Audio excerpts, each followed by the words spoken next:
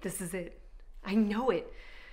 Love is supposed to be this feeling, euphoric and uplifting, motivating you to be a better person.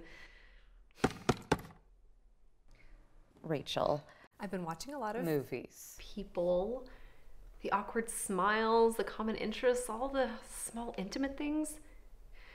I feel like I feel like he really accepts me for who I am and I can just be myself. So you've told him. He said it was a surgeon. A Surgeon. It's similar. Besides, everyone exaggerates on their profiles. He brought me flowers.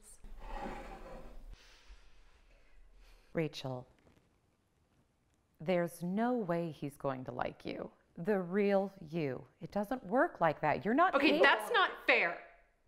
I can have anything those normies can. Do you remember Ryan?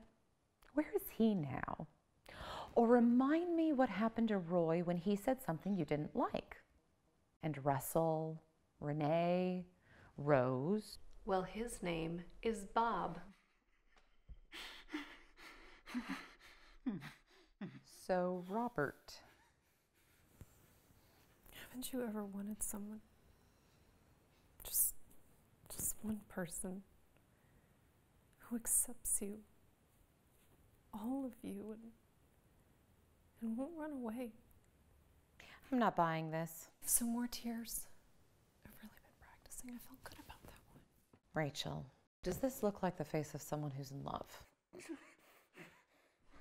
still early in the relationship. There's no plastic.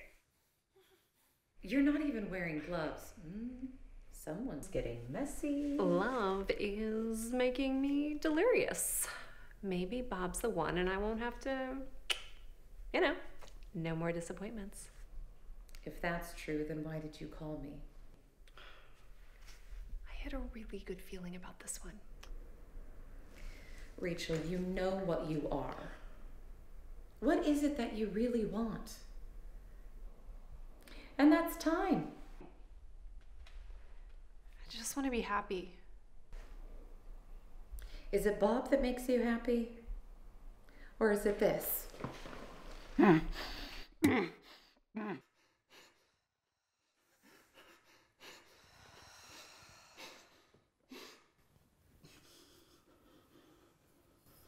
know the answer.